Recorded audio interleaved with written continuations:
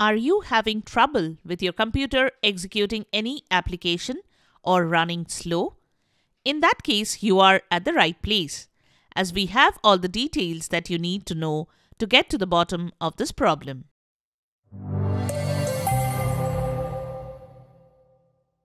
This is the Windows Club. Windows operating system comes with a memory diagnostic tool that you can use to check for possible memory problems, including the RAM. It helps you identify bad memory and memory issues and then take the necessary steps to fix them. So let's get started on how to run the Windows Memory Diagnostics tool. Running Windows Memory Diagnostics tool.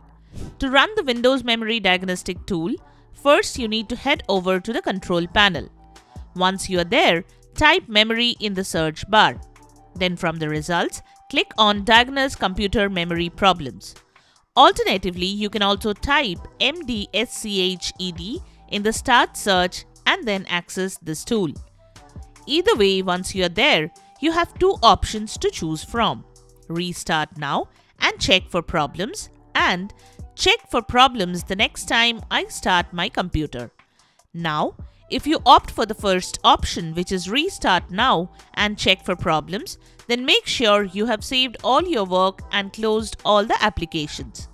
The system will then automatically restart and begin checking for memory problems. Advanced options for running the memory diagnostics tool. For most of us, the average Joe letting the tool to do its job is good enough. But if you are an expert, you can play around and adjust the settings so press F1 when the tool starts. Now here you have a few options to tweak. Test Mix allows you to choose the type of test you want to run, basic, standard or extended. Cache has three options for you default, on or off. Pass count means the number of times you want to repeat this test. Once you change the settings then press F10 to apply or press escape to continue with the default set once this test is complete and if the tool detects any problem, you need to contact your computer manufacturer if you are using a laptop. And if you are using an assembled PC, then contact the manufacturer of the memory device. They will either guide you on how to fix the problem or ask you to visit the nearest service center.